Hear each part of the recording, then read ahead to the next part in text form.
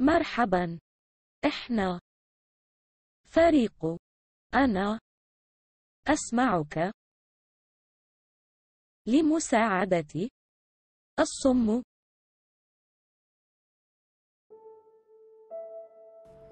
واحد من كل عشر أشخاص على مستوى العالم ما يقارب 466 مليون شخص أصم.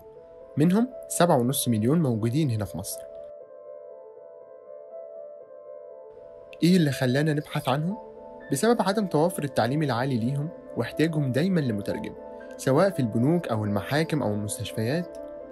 ومن هنا بدأنا بحثنا.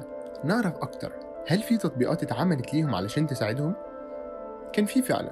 أغلبها كان إنجليزي وكان في منها العربي ولكن لهجات كانت مختلفة. وده اللي يخلينا نتطرق إن لغة الإشارة بتختلف من دولة لدولة ومن لهجة للهجة. بالإضافة إن التطبيقات الموجودة حاليا هي بتوفر الترجمة من كلام للغة إشارة وده مش بيفيد الصم بحاجة.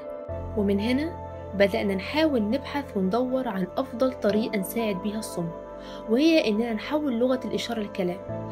بعد تجارب كتيرة جدا وصلنا لأفضل حل حتى الآن وما زلنا مستمرين في البحث عن الأفضل. اللي شغالين عليه حاليا موديل قائم على ال MediaPipe واللي بيشتغل عن طريق إنه بيعمل crop للإيد ويحدد عليها 21 landmark. عشان يحدد مكان الإيد بالظبط.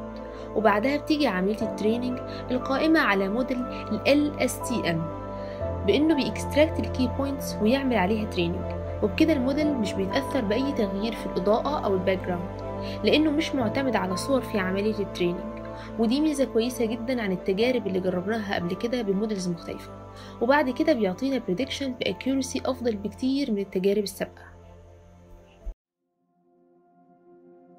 في الأخير كنا محتاجين نتأكد من التصميم بتاعنا سهل ومناسب فعلا ليه ونطلع برقم إحصائي نعتمد عليه في ال documentation بعد ما كتبنا كذا usability test case بس أيا يكن ال user experience best practice بتقول إن ال application screen اية واحدة وال user بتوعنا من كلام ال expert إنهم عارفين الأيقونات دي كويس فده كان كافي إننا نعتمد التصميم ونكمل في ال implementation